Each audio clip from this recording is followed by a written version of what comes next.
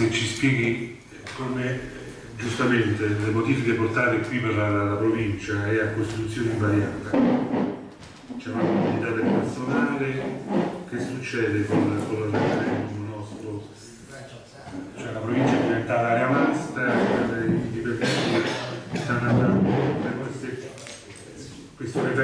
incide sul destino di questi enti, di questo, del personale della, del, della provincia? Su questo bisogna sul personale. Sicuramente sa degli effetti, diciamo così, indiretti che è accaduta. Questo referendum modifica il rapporto Stato-Regioni eh, riattribuendo in capo allo Stato tutta una serie di competenze che erano state attribuite alle regioni. E questo si dice, questo è uno degli elementi di maggiore eh, diciamo così, anomalia, eh, si dice per rimediare agli errori della riforma del titolo quinto. È vero che quella riforma fu una riforma non indovinata per essere, per essere buona, ma se da una parte c'è la volontà di esautorare le regioni di tutta una serie di competenze locali che erano, Buon lavoro, scusatemi buonasera. che erano esercitate in alcune regioni bene, in altre regioni male, in altre regioni non erano affatto esercitate e allora si rimettono in capo Stato nazionale queste competenze proprio per parificare un po' la situazione. Allora a che serve la Camera delle Regioni? Visto che il Senato di fatto dovrebbe svolgere questa funzione di raccordo Stato-Regioni. Il raccordo finisce per essere quasi inutile, quasi neutralizzato. E in questo c'è una delle più grosse contraddizioni di questa riforma. A cosa serve una Camera che dovrebbe essere addirittura la Camera alta se poi di fatto le regioni vengono silenziate in tantissimi, in tantissimi poteri?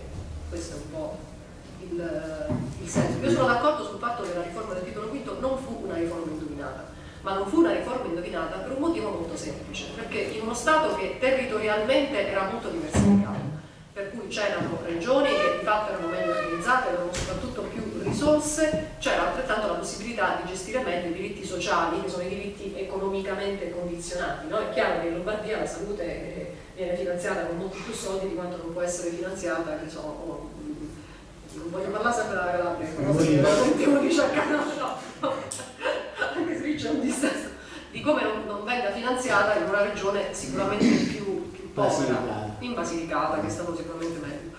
E, ma altrettanto evidente il fatto che se tu dai autonomia, l'autonomia deve essere reale. L'autonomia è reale quando tu insieme all'autonomia dai le risorse. Il federalismo che si attuò con l'articolo 119 di allora, no? in cui si disse apoliticamente le regioni hanno risorse autonome con le quali gestiscono di fatto tutte le competenze che gli sono demandate.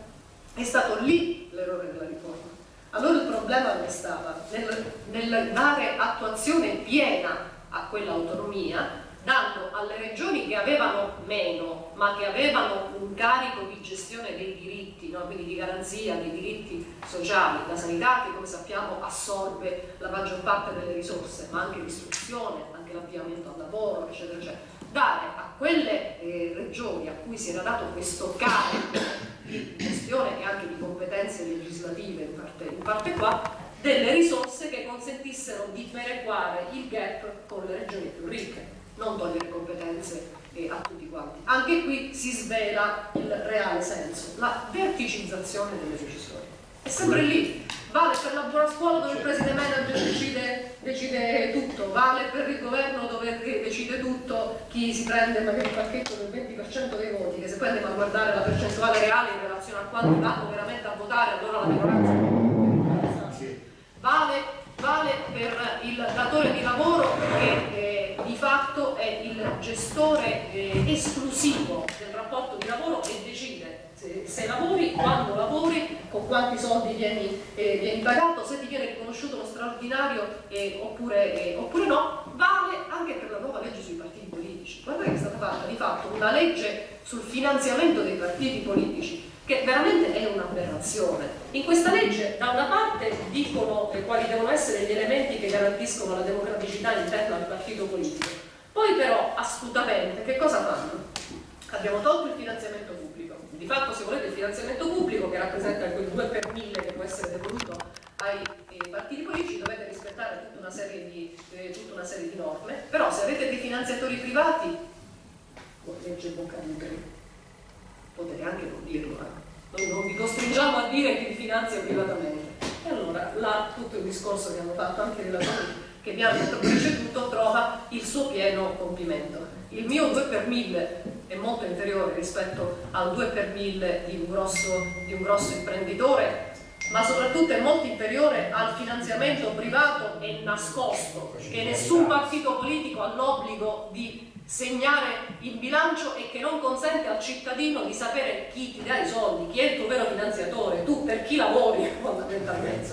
Quindi vedete come la strategia, questo vino rosso di cui parlava il, il presidente dell'AMPI locale si ritrova in tutto. Noi questo filo rosso dobbiamo eh, farlo emergere, dobbiamo aiutare i cittadini proprio a unire i puntini, no? Avete visto i giochini che si fanno sotto l'ombrellone d'estate? Uniamo i puntini, visto che sono abbastanza evidenti questi, questi, questi puntini e penso che siano poi gli argomenti che interessano di più, probabilmente se noi facciamo questo discorso riusciamo anche a smuovere quelle persone che come eh, dicevi tu prima, scusami, scusami tu, eh, eh, hanno diciamo così, una certa comodità a non prendersi la responsabilità di decidere. Io penso che la società funziona come il sistema dei vasi complicati, nel senso che tu puoi avere un amico politico, ma prima o poi anche tuo figlio sarà costretto ad andarsene all'estero perché non riesce a trovare un posto di lavoro adeguato in, in Italia. Quindi prima si fa capire questo, questo, discorso e prima le persone faranno quel salto di qualità verso la responsabilizzazione che impone una